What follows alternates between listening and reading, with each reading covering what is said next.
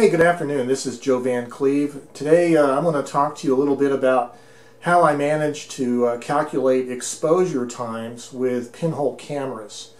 So, if you've seen any of my videos, you might have noticed that on many of my cameras I'm going to have a label with some kind of a number on it. Like this particular 4x5 plywood camera has a label that says 4.79. Here's another camera made from a craft box and it has a number that says 2.44. Here's another one made from a cigar box and it says 3.52 and this big 5x7 camera has a number that says 6.77. So what are those numbers and what, is that, what does that have to do with calculating exposures on pinhole cameras? Well, I'm going to show you right now. Okay, so when we're talking about the focal ratio of your pinhole camera, let me just draw a little diagram. Let's say this is the side view cutaway of your camera. And here is your film the, or paper negative in the back of the camera. Here's your pinhole up front. And light, of course, comes through like that and makes an image. Um, this distance right here is the focal length of the camera. You want to measure that and know what it is. And I usually measure it in millimeters. So that's big F, they call it, which is focal length. And then the size or the diameter of the opening of the pinhole itself, we're going to call D. And that's your focal ratio, or your F number of your pinhole camera. So I'll give you an example. Let's say you had a camera that was, I don't know, 200 millimeters in, deep, a 200 millimeter focal length camera, and let's say your pinhole diameter was half a millimeter, 0.5, then that would be F400, 200 divided by 0.5, F400 pinhole camera, as an example. That's how you calculate the focal ratio of your pinhole camera, and you want to know that in order to be able to figure out your exposure times. You have to measure the diameter of your pinhole. I usually do that um, by scanning the pinhole on my scanner and then I can measure it in Photoshop. You can also use just a, a metric ruler scale, hold the pinhole up behind next to the scale and backlight it and kind of estimate how many pinholes makes up a millimeter and then that tells you the, the number. But you have to know the focal ratio of your pinhole in order to know um, the uh, exposure, in order to calculate the exposures.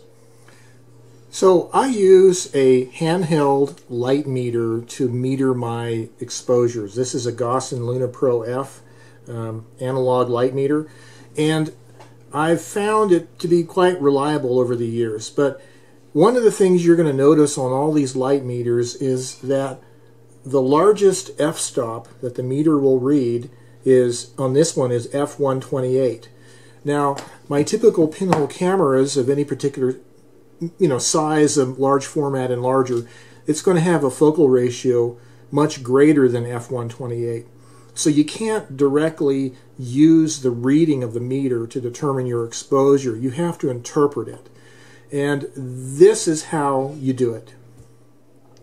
So let's assume for the moment that we've metered our scene and we've zeroed the needle. Of course, it's not zeroed now, it's off. But let's say that the uh, the meter read at my highest F number, F128 opposite 2 seconds. So we're going to go with that and see how we can convert that for the actual pinhole camera that we have. So uh, let's assume for the moment that our pinhole camera had a focal ratio of f300. Now we've just made a meter reading at f 128 at 2 seconds.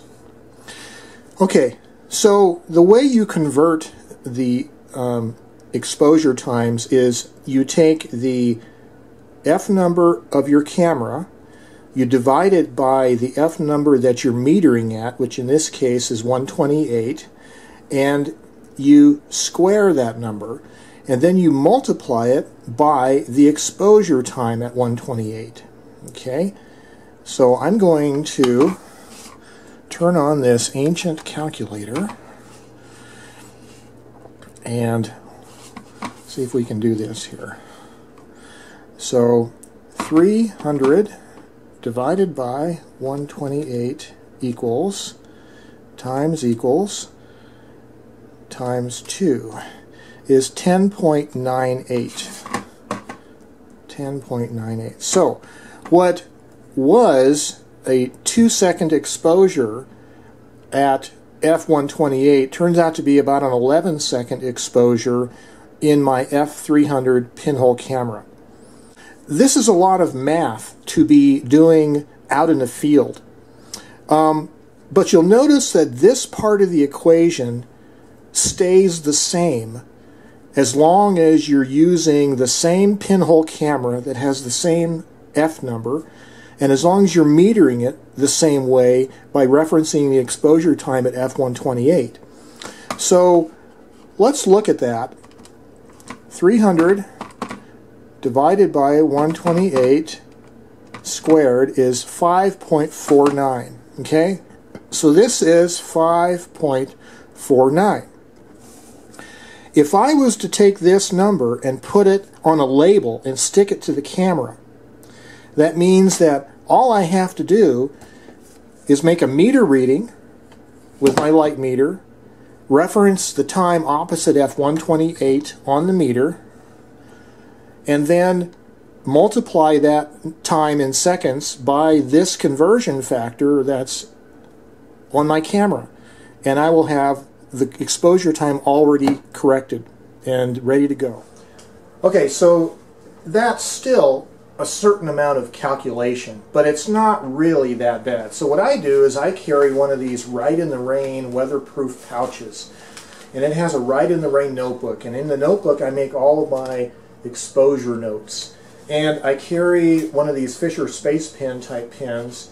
And, of course, I carry a little uh, calculator.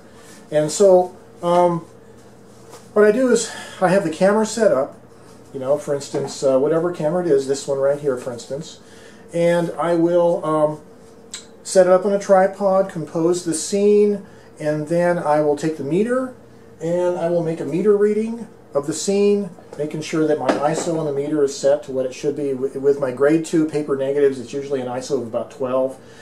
Um, then I will um, look at the K number or the, the conversion factor number on the label and I'll simply multiply that number by the time in seconds that's opposite F128 on the meter. And that's my exposure. Now, keep in mind, I'm using paper negatives. Paper negatives, basically within reasonable amounts of exposure time, in other words, in normal light levels from bright daylight to cloudy daylight, you're not going to have any reciprocity failure whatsoever. Because if you think about it, paper negatives are used, or photo paper is used in the darkroom to do printing, and typical printing times are 10, 20, 30, 40 seconds. That's normal. So there's no reciprocity failure in normal um, quantities of light, normal amounts of light. So when you do this conversion for the F number of your camera, uh, it'll be accurate you're not going to have any problem. Now, if you're using sheet film, on the other hand, sheet film does have reciprocity characteristics that you would also have to correct for. But for my uses with paper negatives, uh, using this little K number or conversion factor number or X number, whatever you want to call it, on the camera is a convenient way so that all of my cameras can be used the same way with the same metering technique. Okay, this is Joe Van Cleave, and this has been how to meter and expose your pinhole camera. Have a good day.